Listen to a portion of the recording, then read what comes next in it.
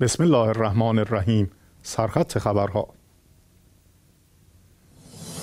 دهم رمضان سال روز وفات حضرت خدیجه سلام الله علیها.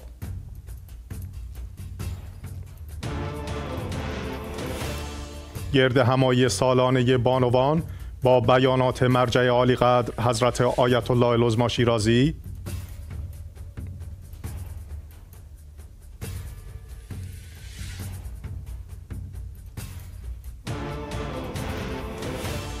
ضرب و شتم امام جماعت یک مسجد به دست هندوهای افراطی.